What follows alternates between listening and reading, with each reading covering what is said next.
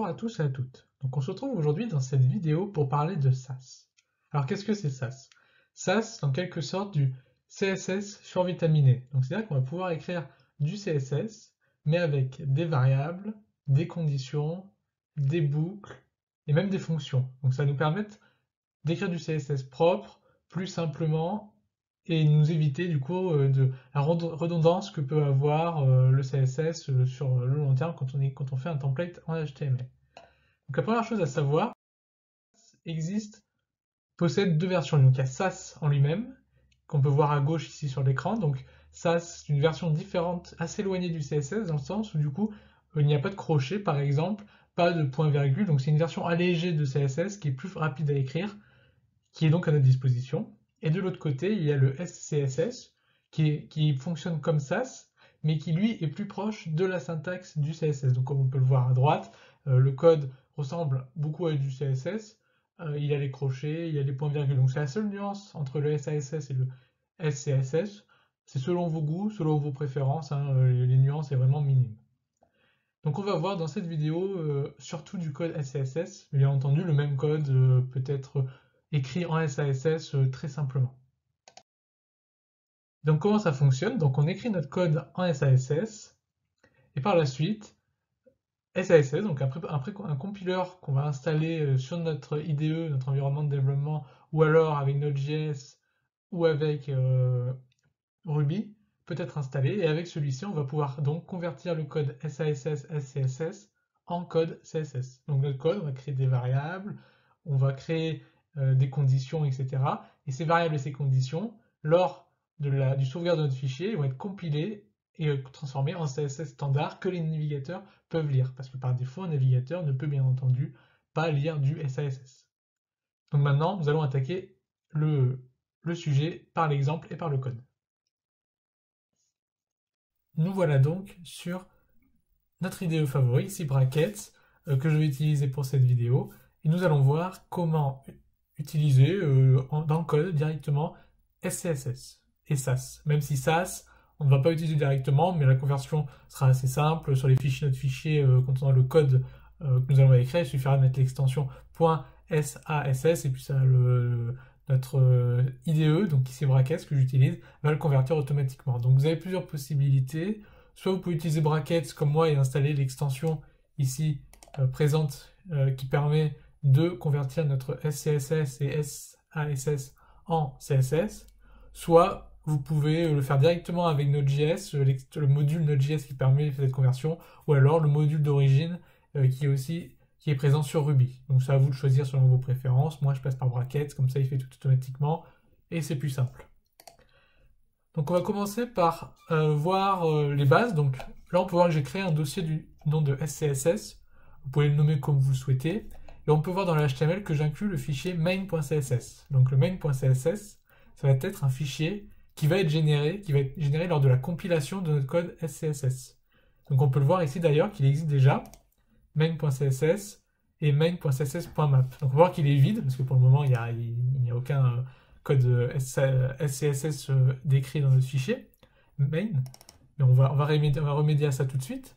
Donc on ouvre le fichier main.css CSS. Et donc on va commencer par mettre sur le body, par exemple, un background, euh, un fond euh, rouge. Voilà, donc on peut voir que Brackets euh, modifie en temps réel le, génère en temps réel le CSS. Donc si on revient dans le main.css, on va voir, ah, il faut que je sauvegarde avant, mais en sauvegardant là, voilà. Et là on peut voir que automatiquement Brackets, le module Node.js SAS, à générer le code euh, CSS qui correspond à notre code. Donc pour l'instant, c'est le même vu qu'on n'a pas fait de modification particulière.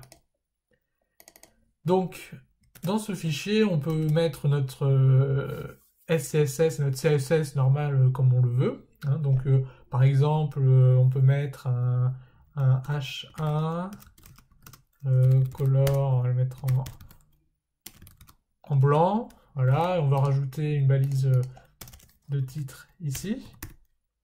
Donc on va mettre euh, mon titre, par exemple. Et là, on voir qu'il s'affiche. Donc on voit que notre titre est bien en blanc, etc. Bon, là, jusque-là, il n'y a rien d'extraordinaire. Euh, chose qu'on peut faire avec SCSS et SAS, Bien entendu, tout ce qu'on peut faire avec SCSS est valide euh, avec SCSS. Hein. C'est seulement euh, la nomenclature euh, qui change un peu, mais les noms des, types, etc. est exactement la même. Donc on va mettre par exemple, on va créer un nouveau div. Hmm, pourquoi pas? Voilà, c'est mieux. Et on va mettre dedans une, autre balise H1, mon second titre, par exemple. Euh, et, cette fois, dans le euh, main.css, pardon, on va pouvoir mettre div achat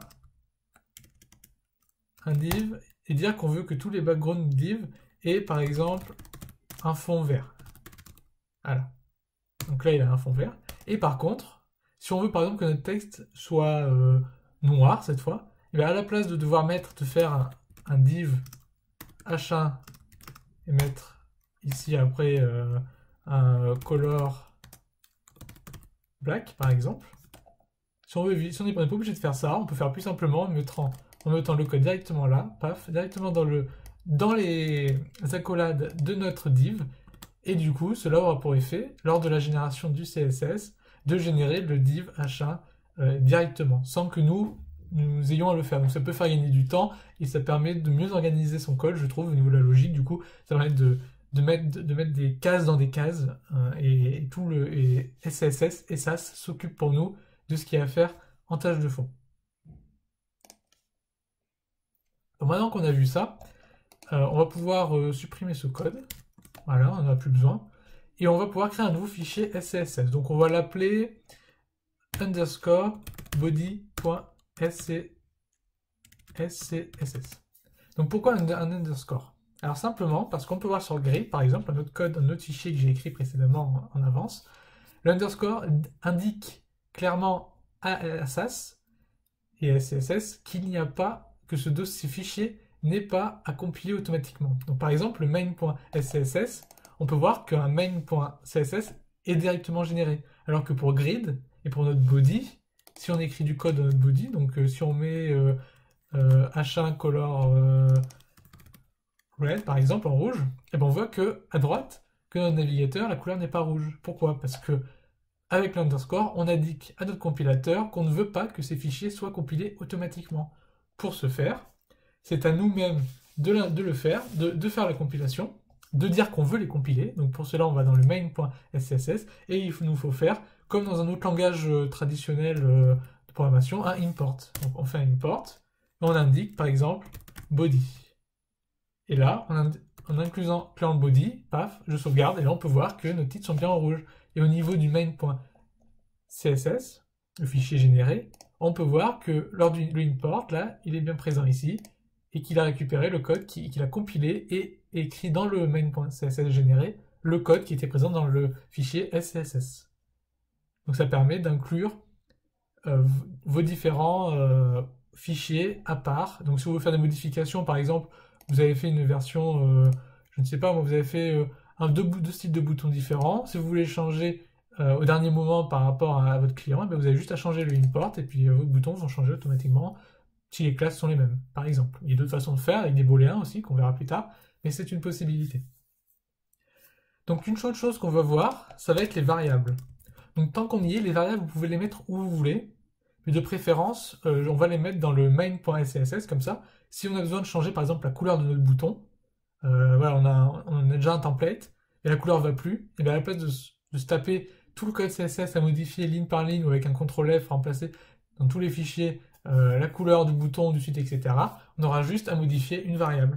Donc on va faire une variable, va, une petite variable simple avec une, avec une couleur, tac, tac, tac, voilà. Et cette, cette variable, on va l'utiliser pour changer la couleur de nos titres. Donc on va aller dans le body, ici par exemple, et là on va remettre le nom de notre variable. Et donc, comme on peut le voir, notre titre a changé de couleur et est bien en gris. Donc après, faire attention parce que l'extension de, de bracket c'est pas très stable, donc il arrive qu'elle ne prend pas en compte les modifications. Il faut sauvegarder, réouvrir et quitter le fichier pour que euh, ça se fasse correctement. Elle encore, n'est pas encore finie. Y a quelques problèmes depuis les versions récentes de SAS. Euh, donc, euh, une fois maintenant qu'on a vu ça, on va pouvoir importer, euh, par exemple, bah, la grille que le, code de grille que j'ai écrit précédemment, euh, avant la vidéo. Donc on va l'importer, paf, voilà. Donc on peut voir ici que j'ai une erreur. Il me dit que la variable, cette variable-là, n'existe pas. Alors à quoi elle me sert? Cette variable, je m'en sers dans mon code de la grille pour définir le padding de mes colonnes. On va utiliser ce code par la suite, ne vous inquiétez pas. Donc, on va créer cette variable dans le, dans le main.scss pour par la suite euh, pouvoir euh, étudier ce code. Donc on va rajouter des, on va définir nos nombres de colonnes. Donc on va définir une colonne de 12. L'avantage, ici, c'est que du coup, avec, en automatisant tout le processus euh, avec du, du SAS et du SCSS, c'est qu'on peut, par exemple, faire une colonne de 24 juste en changeant une variable. Donc, on a de changer le code, de rajouter du code par rapport aux colonnes, etc. Grâce aux boucles, on va voir ça après, on peut, faire en sorte que tout soit généré tout seul et automatiquement. Donc, on va définir une, colonne, une grille de 12 colonnes, et on va mettre un getter, de 20 pixels par défaut. et là, on peut voir que ma grille s'affiche. Ici, parce que maintenant que j'ai mis les bonnes variables, plus, je n'ai plus d'erreur on voit bien là que je n'ai plus d'erreur sur euh, brackets et que du coup ça veut dire que mon code SCSS a bien été généré en CSS. Donc si je, ragrandis mon espace, on peut donc voir que ma grille fonctionne bien. Et donc si je veux, par exemple, mettre une grille de, on de 24, voilà, et là on peut voir que ma grille a changé et du coup sur une grille de 24, euh, mon code qui correspond, mon code HTML qui correspond, donc ici, qui comble donc un espace de 24, on peut donc voir que ça prend toute la largeur. Donc c'est euh, grâce à la puissance du SCSS et du et de SAS en général qu'on peut euh, générer, euh, faire en sorte que notre code CSS évolue et se génère de lui-même aux différentes situations sans avoir à se retaper une tonne de code et de retaper, de refaire tout son système de grille pour qu'il soit adapté par exemple. Il y a juste à faire quelques ajustements de variables et le tour est joué. Donc on va regarder le grid.scss, on va étudier ce code donc au début, rien d'extraordinaire. Hein. Je déclare, euh, je fais du CSS, je, déclare une classe euh, euh, grid, les je déclare, je crée les colonnes. Donc ici, c'est un préprocesseur en quelque sorte. Ça veut dire que c'est en soi, ce n'est ni une classe ni un, ni un ID. C'est un type, c'est une sorte de un type de SCSS, de SAS, où je définis tous les paramètres par défaut. Donc ici, je dis que que par défaut, une colonne, c'est un flottant, position relative, qui a des bordures pour qu'on puisse le voir sur le rendu, euh, qui a des paddings, qui a des borders, une hauteur, etc. Et, pour définir ce type de variable, il faut utiliser le pourcentage au début du nom. Et après, on peut voir ici, dans cette boucle, donc là on peut voir d'ailleurs que j'utilise une boucle, donc euh, i qui correspond donc au nombre actuel de l'itération de la boucle, euh, et on peut voir ici le nombre de colonnes maximum, donc 12, on dit que donc là on va créer le code être exécuté 12 fois. Donc avec la variable i qui va être incrémentée à chaque fois, ça va créer la classe colonne-1, 2, 3, 4, 5, 6, etc. Donc après, on utilise le extend qui, sert donc à dire je veux que le type pourcentage col qui correspond aux paramètres de ma colonne, les paramètres CSS de ma colonne, euh, soit en quelque sorte inscrit euh, dans ma classe colonne-1, 2, 3, etc. à l'infini. Donc ça veut dire qu'on va voir après dans le code euh, CSS généré que ce code-là va simplement se retrouver ici. Donc le extend va être remplacé par le code présent ici qu'on a écrit précédemment. Et de la même façon, après, avec un width, je définis euh, la largeur pour chaque colonne par rapport avec un petit calcul.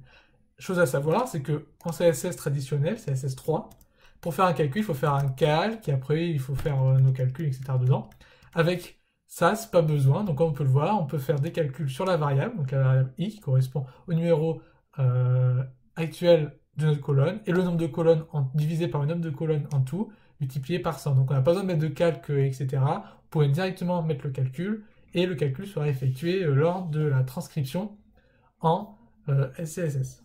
Euh, en SCSS plutôt, excusez-moi. Et donc après, on peut voir qu'il y a le même code pour les petits écrans, etc. Et donc, si on regarde le code qui est généré dans le main.css, on peut voir ici que ces différents, ce code-là vient du fichier underscore grid.scss qu'on a importé précédemment dans notre main. Et donc là, on peut voir que notre boucle Euh, donc là, on peut voir d'ailleurs, c'est pas notre boucle, là on peut voir que le pourcentage, va, le type qu'on a créé précédemment, le pourcentage colle est donc généré ici. Donc on peut voir qu'il s'applique à tous les éléments dans lesquels on a fait le import, euh, le import call, pourcentage call dans le code SCSS. Et on peut voir que le code généré est propre, c'est-à-dire que techniquement, il aurait pu faire plus simple. ça, ça aurait pu se dire, ce code-là, ben, je recopie directement ici, là, je le mets directement là, je recopie plein de fois, et puis euh, le tour est joué. Non, parce que du coup, ça serait un peu plus lourd, ça serait un peu plus lourd pour euh, les navigateurs, le code serait plus long, il serait moins propre. Du coup, il sait euh, automatiquement, en voyant le code, en voyant le, le, extend call, il sait toutes les fois où il a été appelé, dans quelle classe il a été appelé, et du coup, il nous génère en conséquence tout le code, il écrit le code une seule fois et ajoute toutes les itérations dans lesquelles il a appelé ici par la suite après. Donc ça permet du coup d'avoir un code qui est assez propre, même plus propre que ce que pourrait faire, euh, je pense, un humain. Donc on peut voir que tout le code après généré, les colonnes 7, 8, 9, 10, etc. qui sont dans notre boucle. Et on peut voir le même code euh, qu'on avait mis dans le média, euh, que j'avais mis dans le média, pour le côté responsive de la grille. Donc voilà une grosse puissance de SCSS et de SAS, c'est le système de variables, qu'on a vu euh, dans le qu'on a vu dans le main.scss ici, le système de variables qui est très pratique, qui permet de modifier euh, très rapidement le code et de le faire euh, évoluer en fonction des besoins, et les boucles. Alors bonne nouvelle, il n'y a pas que ça. Donc on va pouvoir maintenant tester d'autres types qui existent. Donc au niveau des variables, il existe les booléens. Donc ils sont comme dans tout langage de programmation qui vaut vrai ou faux. Donc on peut en créer un, donc par exemple on va en créer un ici, voilà, et on peut l'utiliser après avec un if, comme on peut le voir ici, on met booléen, et puis à partir de là, tout le code qui est présent à partir d'ici ne s'activera que si notre variable booléenne est égale à true.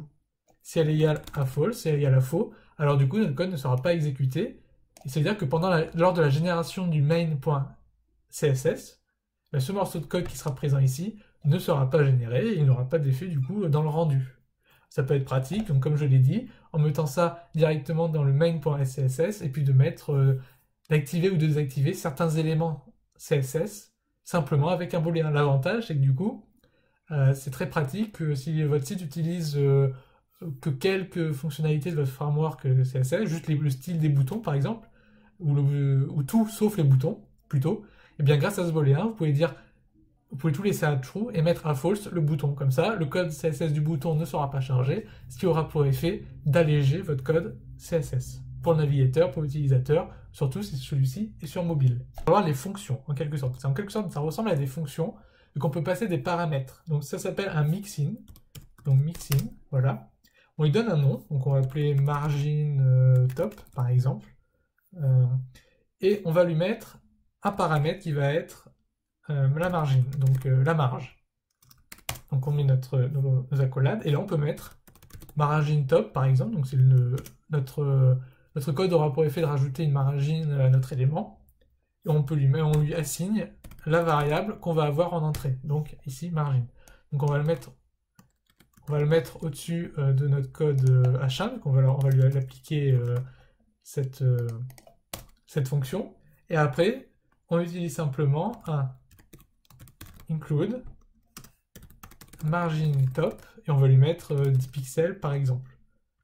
Après c'est à vous de, mettre comme vous le souhaitez. Et donc là on peut voir que euh, la margine s'est appliquée. Si on met un 50, voilà, la margine s'applique sur tous nos éléments H1, sur tous nos titres, et on peut modifier simplement du coup les paramètres euh, de notre fonction et faire et, du coup le code va réagir en conséquence et faire différentes choses. Donc c'est-à-dire qu'un même code, vous pouvez créer une fonction et en, en fonction des paramètres, ça peut générer euh, un élément différent. Donc ça peut être très très très pratique. Autre chose possible, euh, par exemple, euh, on va créer une classe qu'on va appeler ben, exemple. On va lui dire que, alors pour effet, mettre le texte en rouge. Et si on veut l'utiliser dans notre H1, ben, il suffira de faire un extend.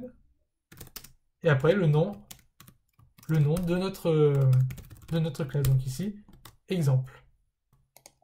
Donc on peut voir que nos titres sont bien en rouge. Donc ça permet du coup d'inclure le color red directement dans le code H1. Donc si on regarde au niveau du main.scss, au niveau de la génération, on va donc voir ici que le H1 a toujours la couleur euh, qu'on avait définie vers le primary color de notre variable, mais que du coup, ici, il s'est rajouté euh, que tous les H1 rajouté, se sont rajoutés ici et qu'il aura la couleur red. Donc on voit que le code généré est vraiment assez propre globalement, qu'il n'y a pas de duplication euh, de code inutile à l'intérieur.